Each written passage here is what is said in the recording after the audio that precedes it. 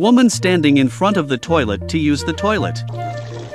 She shakes when she's done. She closed her eyes and went back to bed to sleep again. Suddenly she thought of something. How did I just go to the toilet? The woman rushed to turn on the light, while reassuring herself that she was dreaming. She opened her pants to check. There was an additional organ. Just at that moment, her son and daughter came in. She speaks. She actually sounded like a man too. The woman's name was Anna. She was a single mother. She was raising her two children alone. Shorts is limited in duration. Click on the comments section to see the full episode.